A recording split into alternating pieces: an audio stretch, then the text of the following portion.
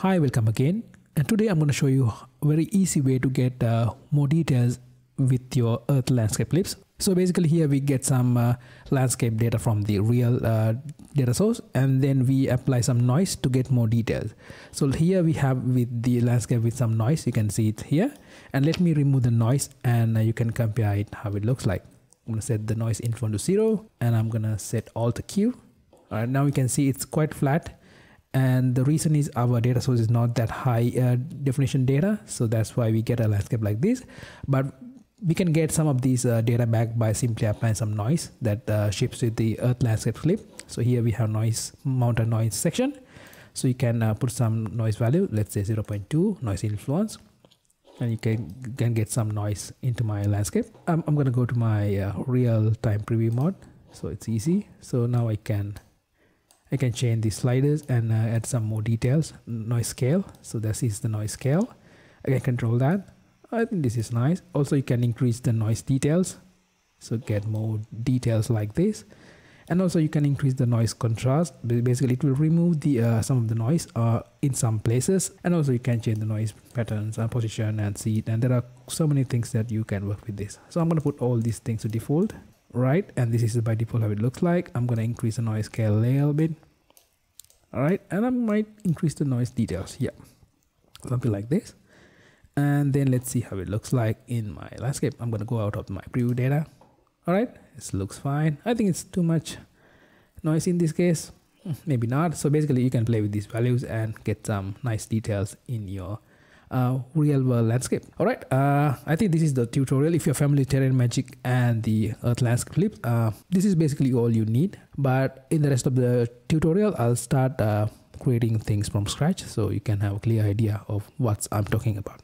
All right, here I'm going to create a new file, new level. So let's start with the basic uh, level. So we have something to work with. And I'm gonna remove the uh, our flow, which is we don't need so I'm, instead of that, I'm going to create a new landscape. I'm going to select mode and the landscape. And here I'm going to select the uh, edit layers, enable edit layers. And you can set any uh, landscape material you have. Uh, this is not important right now. So you can put any landscape material you have. Here I have something called tiny land. Um, so you don't need to worry about it. You can use any landscape material. And it's very important to set the enable edit layers. You have to click that. And then uh, section size, I'm going to go with this and this. I have about 2k landscape. This will be fine for this demo. I'm going to create. All right. And then I'm going to go to my paint section. And here from the, uh, the paint layers, I'm going to select the first uh, layer info for the first layer. And then uh, it will apply the landscape material in this case and we are good to go. All right. Then next we need the Terrain Magic uh, landscape plugin. So basically you can get this from the marketplace. And uh, so once you install that to your engine and also enable it to your project, you can go to edit plugins and search for terrain magic and then you can enable it like this. I have already done that so we don't need to do it anymore. After you've done that go to your landscape mode again go to the sculpt section and select the blueprint tab over here. And the, here we have blueprint brush section. I'm going to select the terrain i'm to select the terrain magic clip brush and i'm to uh, click somewhere on the screen. Right it will apply a clip brush over here and that's all we need uh, to communicate with the landscape. And then i'm going to go out of my landscape mode. Right now we are uh, ready to work with terrain magic. Right the first thing i'm going to do it i'm going to go to my place actors tab over here. If you can't see this go to window and here we have place actors tab. You can click that and it will add a place actors tab. I'm going to drag it over here. Okay now we have this. I'm going to select for base. Uh, here we have something called base landscape clip. I'm going to drag that into my scene. So basically it will set the base for my uh, landscape work and I'm going to set the base value to uh, absolute minimum. So it will set the base value to absolute minimum. And then uh, after that you have done these changes, you can hit this invalidate button over here and it will apply those changes over here.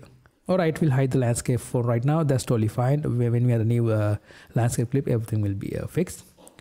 Right, and then uh, what I'm trying to do is I'm going to go to my place actors tab again. I'm going to select earth landscape clip so basically we're getting some uh, data, real-time height data. I'm gonna drag that in, into my scene.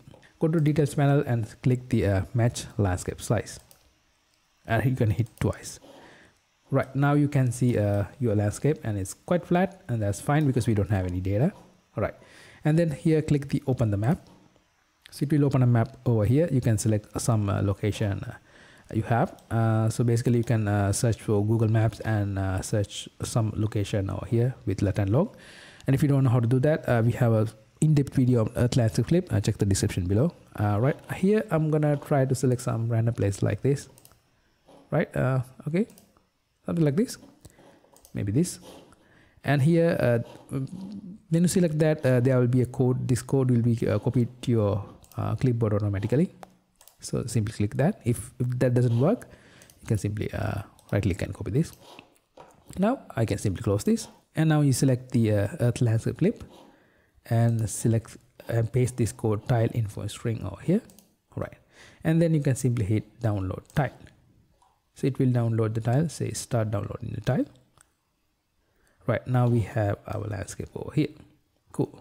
So what i'm trying to do is i'm gonna enable the uh, real-time mode over here real-time preview mode okay? And then about here height fog i'm gonna little bit reduce it a little bit something like this. Okay cool. Right, i'm gonna select my Atlantic clip, clip again. I'm gonna first i'm trying to do is i'm gonna go to the uh, uh, fading section because i need a little bit of mountain kind of thing. I'm gonna set the box fading. You have this. And i'm gonna reduce the mark span like this. Okay like this. So here this map is not really good for a mountain because you can see it's how it looks like. But here that's fine because we are not uh, creating something uh, interesting uh, just to show you how everything works. Right. And then I think this is good. Uh, so now uh, what I'm trying to go is uh, I can go a little bit closer.